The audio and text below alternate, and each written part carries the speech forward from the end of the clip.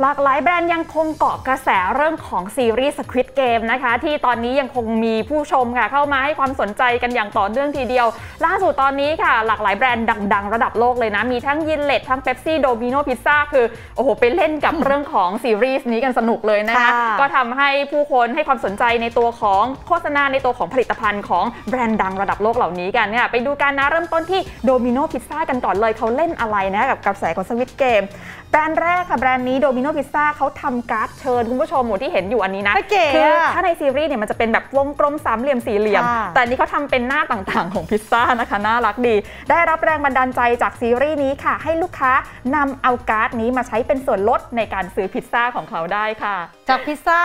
หิวน้ำกันไหมไปเป๊ปซี่กันดีกว่าอ๋ออ่เป๊ปซี่เขาทำอะไรนะเขาเลือกขนมดัลโกนาหรือว่าขนมรังผึ้งนะ มาทำแคมเปญนี่ดูสิ อ๋อที่จริงแล้วมันเป็นตอนแรกมันจะต้องเป็นน้ำตาลเนาะใช่ ไหมคะ ก็มาทำแคมเปญด้วยลวดลายโลโก้เป๊ปซี่ให้ลองเล่นเกม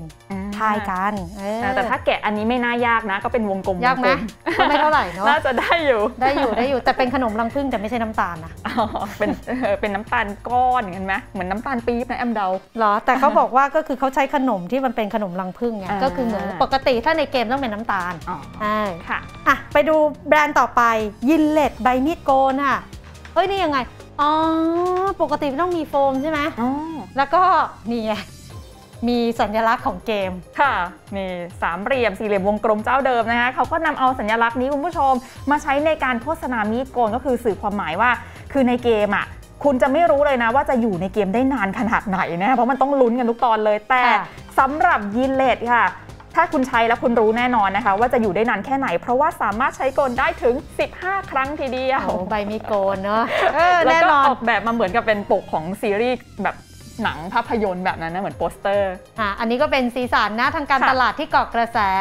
Squid Game มาคุณผู้ชมเออก็ดีนะ แปลว่าณวันนี้เขายังคงได้รับ